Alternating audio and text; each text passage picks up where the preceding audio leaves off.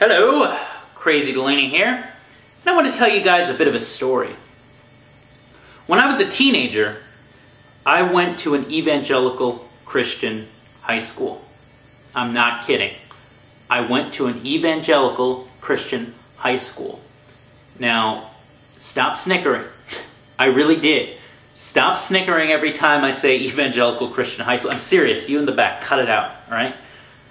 No, I went to an evangelical Christian high school, and one of the things that was taught in this high school was something called creation science. Uh, I'm sure a lot of you are aware of names like Kent Hovind, uh, Ken, Ken Ham, and other people who espouse the theory, well, it's not really a theory, uh, the idea that the creation uh, story, as it appears in the book of Genesis in the Bible, is accurate. It is a literal account of how life on earth came about. So we're talking creation in, in six days. This was taught in our science classes at this high school. And what's interesting about that is everything in my brain when I was hearing this, everything intellectual said to me, there is no way in hell that's true. That's not why the Genesis story was written. That's not what the authors of the Genesis story were trying to do with this story. They were not writing a science book. Guys, the earth's not 6,000 years old. That's that's that's crazy. Intellectually, that's what I thought. But I was in an, in an environment where everybody was saying evolution is clearly a lie. It's a lie authored by the devil and if you want to be close to God, if you want Jesus Christ to smile at you, God damn it, you'd better believe that the earth is 6,000 years old. You better believe that He created the earth in six days, or you're going to lose your faith. You're going to become a, a godless heathen. You're, you're going to bring us all skipping towards Gomorrah like everybody else if you don't believe this truth. Intellectually, full of holes. Swiss cheese. You know, a midget with a machine gun shot up full of holes. Full of holes. You could drive a truck through it. Guess what, guys? Guess what? I believed it. I believed it for the duration of my time in that school. I believed it. And I thought God was happy with me because I believed it.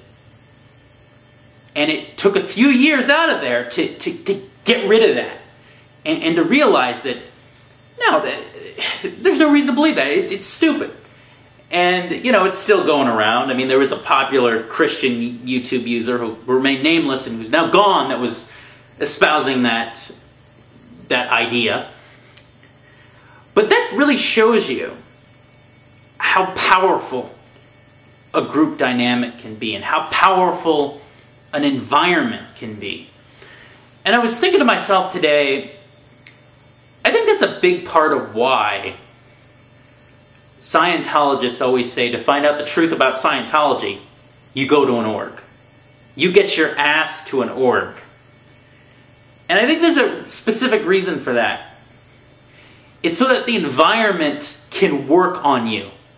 And I don't know if that's the best way to put it. It's, it's so that the environment can work on you, the group dynamic can, can work on you.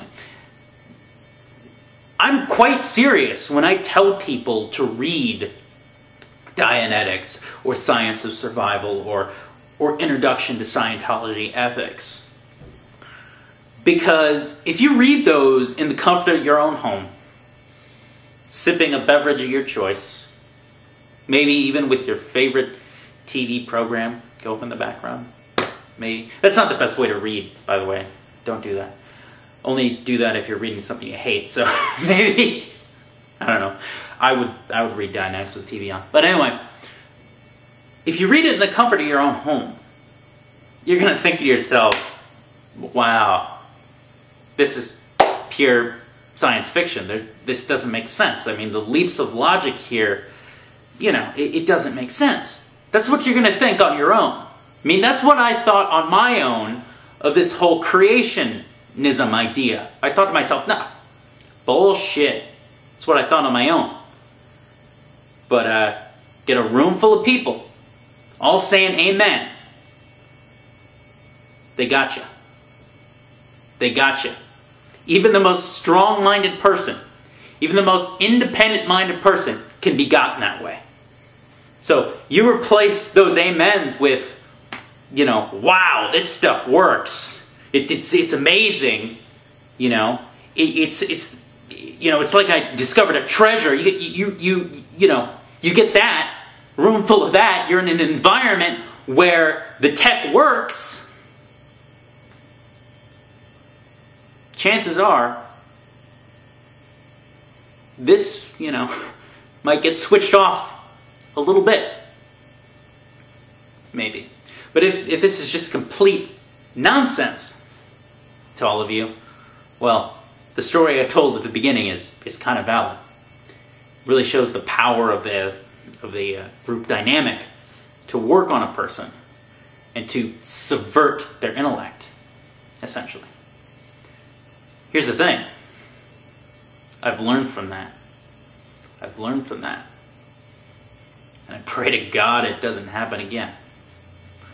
All right. Peace, victory, and as always, drive safe. Crazy Delaney out.